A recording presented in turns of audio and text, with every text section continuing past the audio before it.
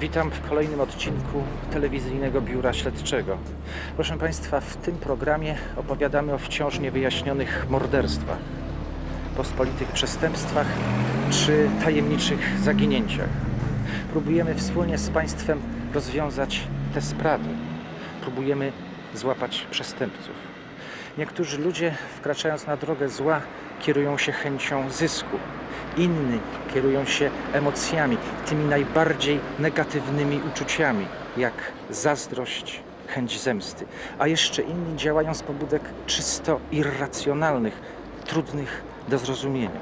Żeby dowiedzieć się o prawdziwych motywach działania sprawców, musimy ich złapać. Dlatego zapraszam do uważnego oglądania programu. Tym razem wciąż niewyjaśnione wydarzenia kryminalne zaprowadziły nas do dwóch miast: Lubina i Głogowa.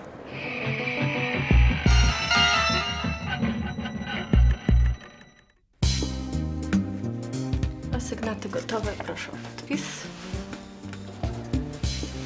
Ostatni raz w tym roku.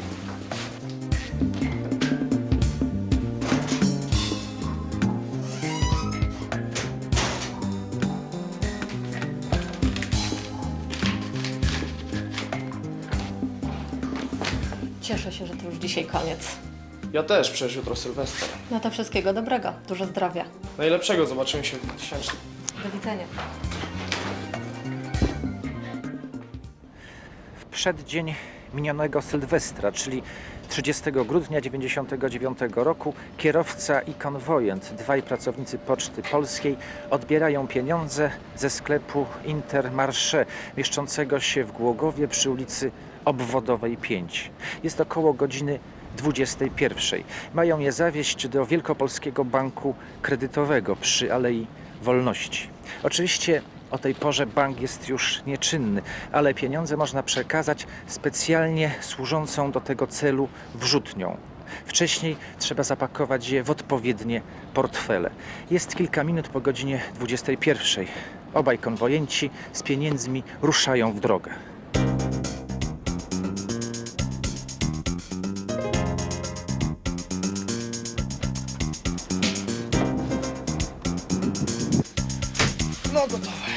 No dobra, ruszamy, praca czeka. Patrz jak to zleciało już jutro Sylwester. No, za 27 godzin szampana strzelamy. I to jaka data? 2000. Wybierasz się gdzieś na imprezę? Nie, bo już mam dość hucznych takich zabaw. Posiedzę w domu, odpocznę. Szampan w lodówce czeka zamrożony.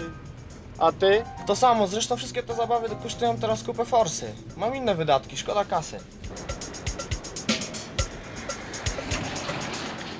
Przejazd ze sklepu Intermarché do banku trwa zaledwie kilka minut. Konwojenci dysponują samochodem Citroenem C15 Furgon.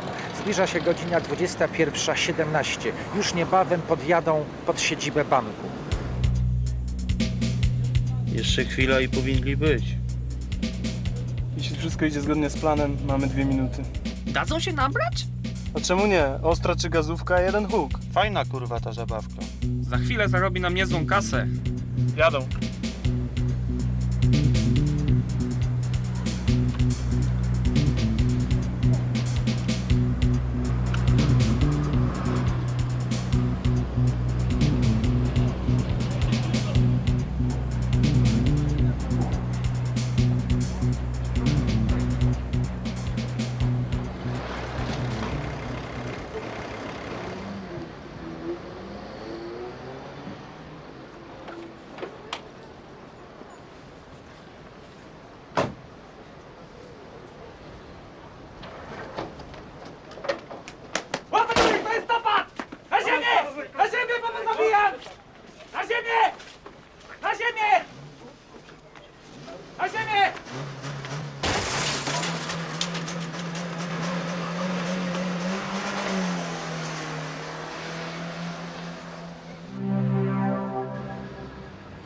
Całe zdarzenie trwało dokładnie 24 sekundy.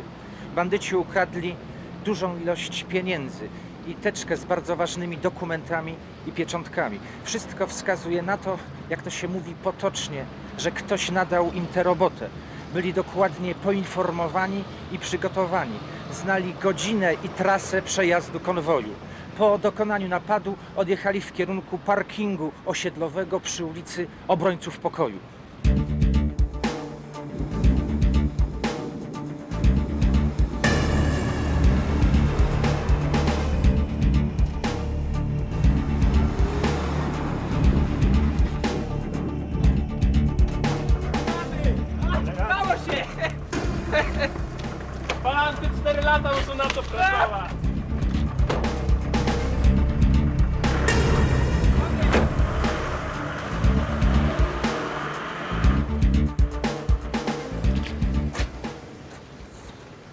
Policja zakłada dwie wersje ucieczki bandytów. Jedna z nich mówi, że z parkingu przy ulicy Obrońców Pokoju oddalili się na piechotę. Tutaj też mogli przebrać się z kombinezonów, w które byli ubrani podczas napadu. Druga zaś wersja mówi, że mogli stąd odjechać wcześniej podstawionym samochodem. Tym bardziej, że na parkingu pozostawili swój samochód, którego wnętrze wcześniej, prawdopodobnie w celu zatarcia śladów, polali denaturatem.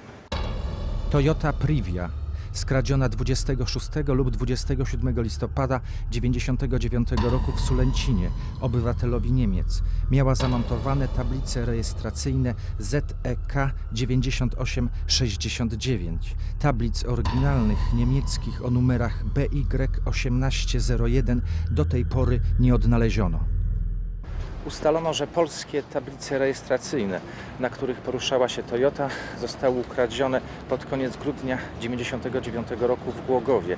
Policja poszukuje oryginalnych niemieckich tablic. Powtórzmy, BY 1801.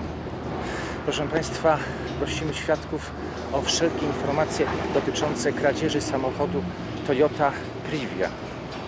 Samochód ten został ukradziony z 26 na 27 listopada 1999 roku w Sulęcinie, gdzie od tej pory był garażowany.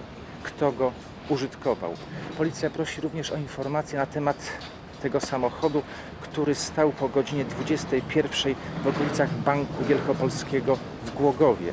Przypomnę, że było to w przeddzień nowego 2000 roku.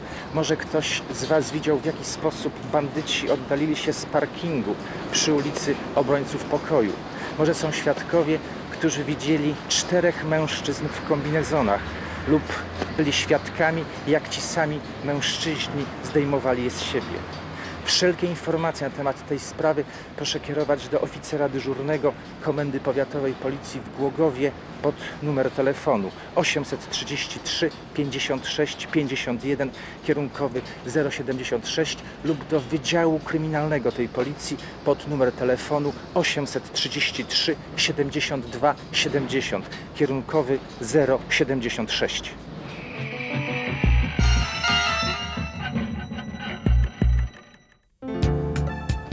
Elegancko.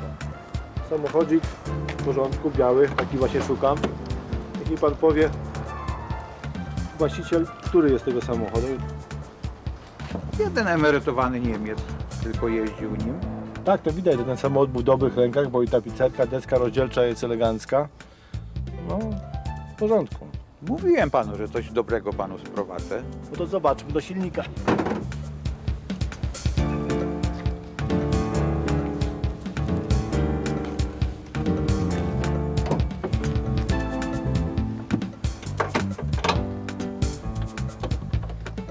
Widzi pan, silniczek ma pan jak dzwon.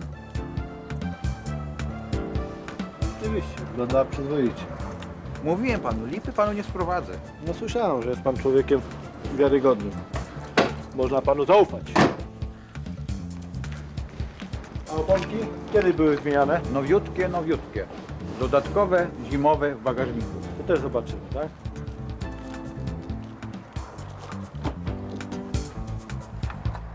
Ładne, cztery oponki. Zadowolony jestem. To co z dokumentami? Spotkajmy się jutro o 19 u mnie w garażu. Okej? Bogdan Mikołajczyk, 40 lat. Mieszka w Lubinie w wynajmowanym lokalu przy ulicy Budziszyńskiej. Spokojny, bezkonfliktowy. Nie utrzymuje bliskich kontaktów z sąsiadami.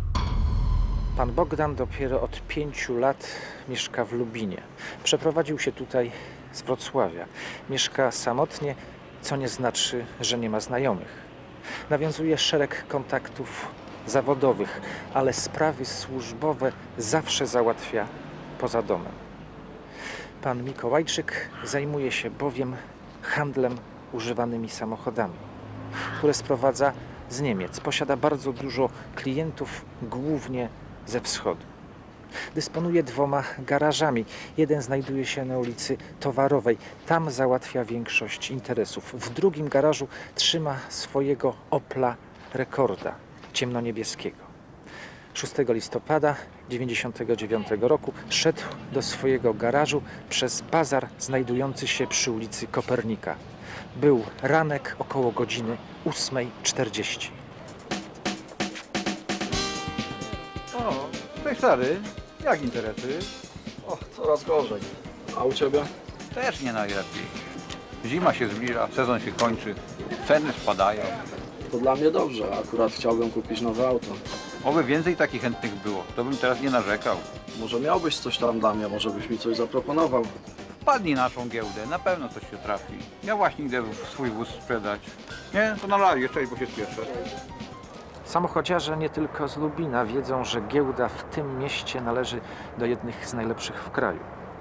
Proszę Państwa, jak zapewne doskonale się orientujecie, żeby kupić czy sprzedać samochód, trzeba szukać wszędzie. Tak też robił pan Bogdan. Odwiedzał giełdy w innych miastach, innymi w Gliwicach i w Szczecinie. Bywał tam w weekendy, w sobotę i w niedzielę, bo tylko wtedy odbywa się wielki handel samochodami. 6 listopada 1999 roku była właśnie sobota. Pan Bogdan wybierał się na lubińską giełdę. Około godziny 8.40 widziany był na bazarze sam. Potem poszedł ulicą Mieszka I i Kilińskiego w kierunku swojego garażu, który, jak już wiemy, znajduje się przy ulicy Księcia Ludwika I.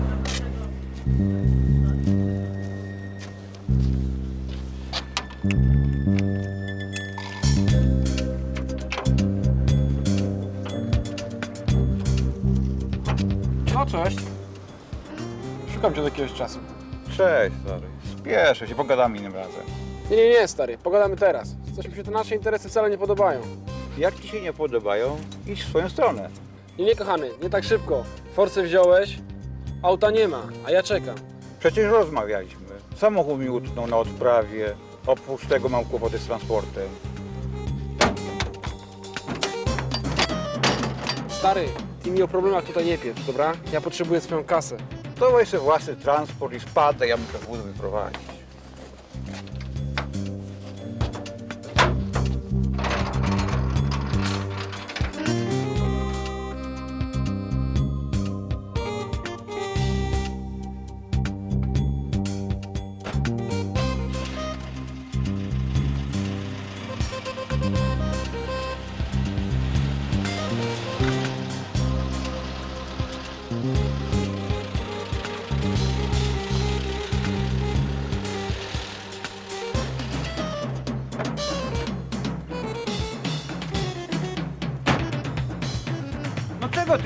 Sterczysz? Stary, nie wkurzaj mnie. Co chcesz mi tu wcisnąć? Kasę zapłaciłem za samochód, a transport miał do ciebie należeć. Jak ci tak pilno, to już nie moja sprawa. Słuchaj, gnoju, nie rób mnie w konia, dobra? Nie wrzesz tak, bo się pół miasta zleci. Wejdź do środka, to pogadamy. Będzie wóz albo kasa, to się odpieprzę. Z palantami interesów robił nie będę. Tylko jedna z wersji wydarzeń zakłada, że pan Bogdan spotkał kogoś w drodze do swojego garażu. Są jeszcze dwie inne hipotezy.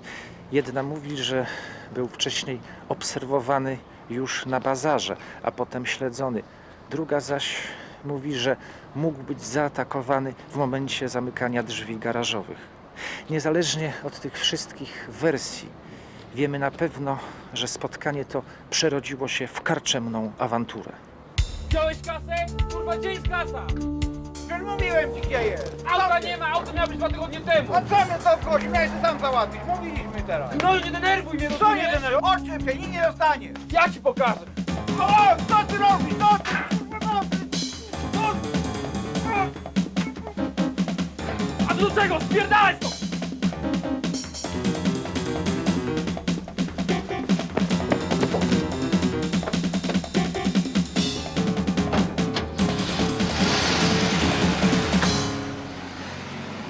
Bandyta natychmiast odjeżdża z miejsca morderstwa. Jedzie w kierunku ulicy Składowej, gdzie znajduje się hala sportowa. Potem najprawdopodobniej zmierza na wiadukt, pod którym biegnie droga relacji Wrocław-Zielona Góra. Policja natychmiast zarządza blokadę dróg w mieście i okolicach. Akcja ta niestety nie daje rezultatu. W międzyczasie na miejsce morderstwa przybywa grupa dochodzeniowo-śledcza. Lekarz stwierdza zgon. Proszę Państwa, bezwzględny bandyta użył w czasie napadu noża typu bagnet, o czym świadczą bardzo głębokie rany na ciele pana Bogdana. Ofierze zadano kilkanaście ran kłutych. Śmiertelne okazały się dwie, umiejscowione w okolicach lewej pachy. Uszkodziły lewy przedsionek serca. W tym dniu, w dniu morderstwa, czyli 6 listopada 1999 roku, policja odnalazła samochód, którym uciekał sprawca. Przypomnijmy, że był to ciemnoniebieski Opel Rekord o numerach rejestracyjnych WCX 5061, należący do Bogdana Mikołajczyka. Samochód ten został porzucony w lesie w okolicach Szprotawy. Bandyta podpalił auto. Policja zabezpieczyła wszelkie ślady, przesłuchała świadków. Sporządzono też portret pamięciowy mordercy. Pokażmy go. Wiek z wyglądu 30-35 lat, 175 cm wzrostu, krępej budowy ciała, twarz prawdopodobnie okrągła, cera lekko śniada, włosy i oczy ciemne, nos prosty, ubrany w zieloną kurtkę z kapturem i ciemne spodnie, cechy charakterystyczne, dłonie jaśniejsze w stosunku do karnacji twarzy, tembr głosu niski, mówi poprawną polszczyzną. Policja poszukuje sprawcy tego zabójstwa. Ponieważ mężczyzna przedstawiony na portrecie pamięciowym mógł być wcześniej widziany w towarzystwie pana Bogdana. Prosimy o kontakt wszystkie osoby, które mogły obu panów widzieć razem. Chodzi nam głównie o bywalców giełd samochodowych w Lubinie, Szczecinie i Gliwicach. Przypomnę, że zdarzenie miało miejsce 6 listopada 1999 roku po godzinie 9. Policja prosi o kontakt osoby, które widziały samochód Opel Rekord o numerze rejestracyjnym WCX 5061. Właśnie tym samochodem uciekał morderca. Prawdopodobnie jechał ulicą księcia Ludwika I, potem składową, a potem skierował się na wiadukt nad drogą prowadzącą z Wrocławia do Zielonej Góry. Ważne jest również, proszę Państwa, miejsce porzucenia samochodu. Było to w lesie przy drodze relacji Pasterzowice-Borowina. Może ktoś widział kierowcę, widział samochód. Informacje proszę kierować do oficera dyżurnego Komendy Powiatowej Policji w Lubinie pod numer telefonu 84 06 200 do 222 kierunkowy 076 lub do telefonu zaufania tej policji 84 06 206 kierunkowy 076.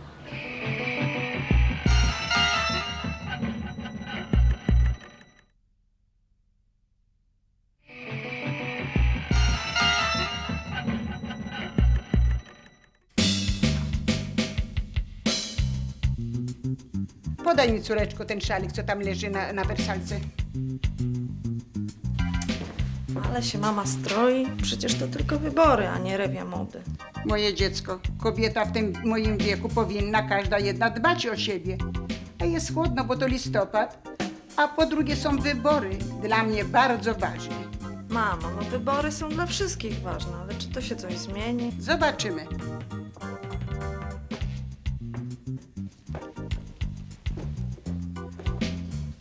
Ja już idę bo gadu gadu autobus ucieknie. Aha, jutro was chcę widzieć wszystkich u mnie na obiedzie. Czekam z obiadem. Do widzenia. Henryka Mazurkiewicz, 75 lat, zameldowana na stałe w Gostyniu. Wdowa, ma siedmioro dzieci, trzech synów i cztery córki. Mieszka w Dalkowie u jednej z córek.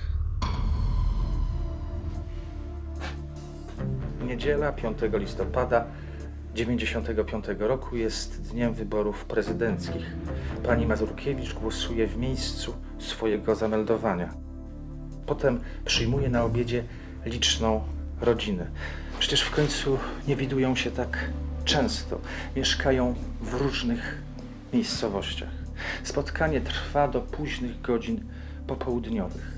Pani Henryka postanawia zostać w Gostyniu jeszcze jeden dzień. Rzadko odwiedza swoje mieszkanie. Chce je trochę posprzątać. Do córki zamierza pojechać następnego dnia, już w poniedziałek.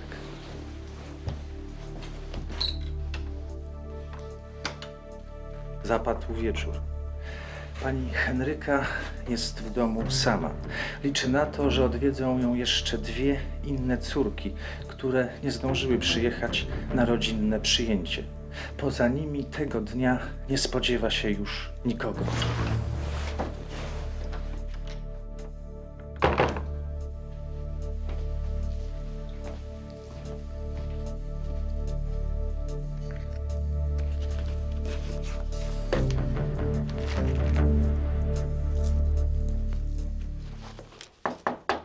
No, nareszcie przyjechałyście. Wejdźcie, wejdźcie.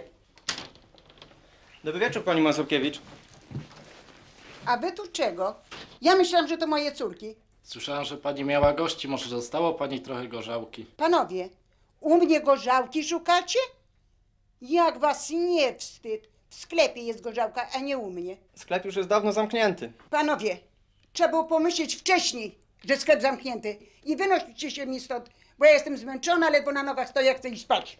Jak to tylu ludzi na imprezie i nic nie zostało, ja jednak sam sprawdzę. A dokąd to, dokąd to kolego? Idź stąd, idź tu, jedź tu. Ona tu nic nie ma. Idźcie się stąd. Zaraz nam wszystko wyśpiewa. Puść mnie, puść mnie, idźcie stąd, wynoście mnie Gdzie masz stąd. budę? Mów! Nie mam,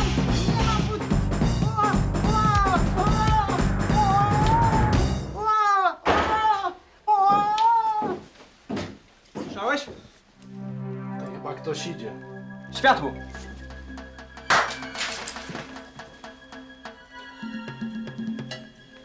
Nikogo nie ma. To spierdalam.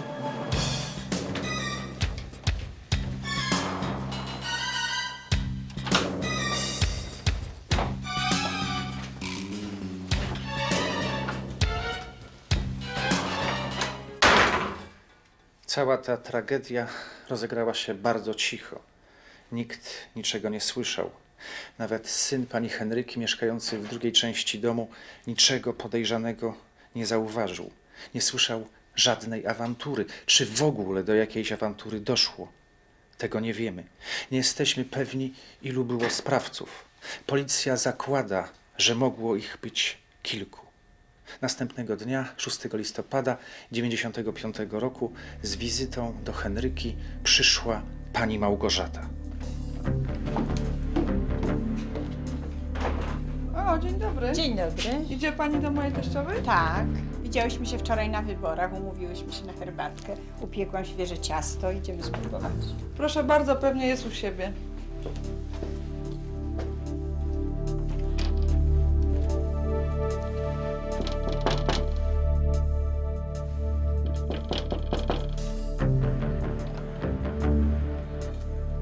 Pani Heniu, jest pani tam?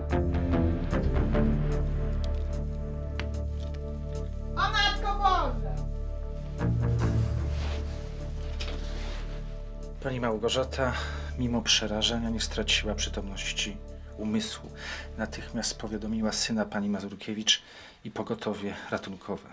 Na miejsce zbrodni przybyła policja, lekarz sądowy i prokurator.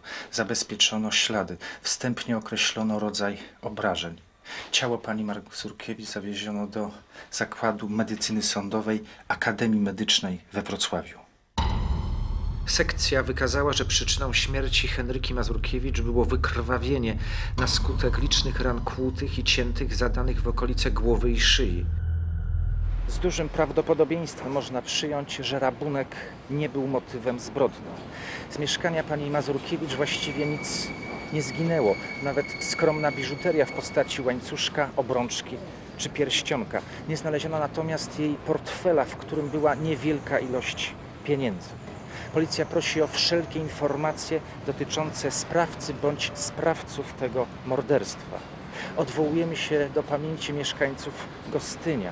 Może ktoś z Was w dniu 5 listopada 1995 roku, w dniu wyborów prezydenckich, widział jakieś podejrzane osoby kręcące się koło domu zamordowanej. Informacje w tej sprawie proszę kierować do oficera dyżurnego Komendy Powiatowej Policji w Głogowie pod numer telefonu kierunkowy 076 833 56 51 lub do Wydziału Kryminalnego tej Policji pod numer kierunkowy 076 833 72 70.